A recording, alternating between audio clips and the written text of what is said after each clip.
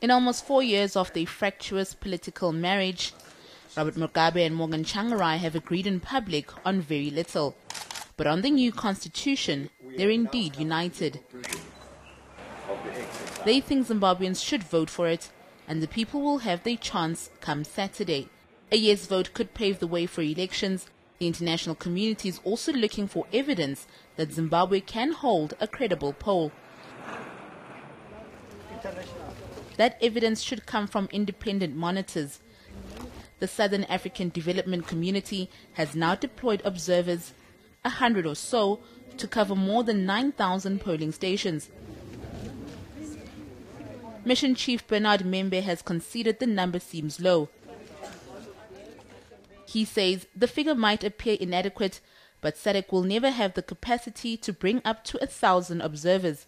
After all, we will not be doing much. Mugabe's party ZANU-PF doesn't want Western observers, but Tsvangirai says the partners in government have yet to agree on that. Zimbabwe's Electoral Commission has accredited some Western observers. Soku Sibia, Johannesburg.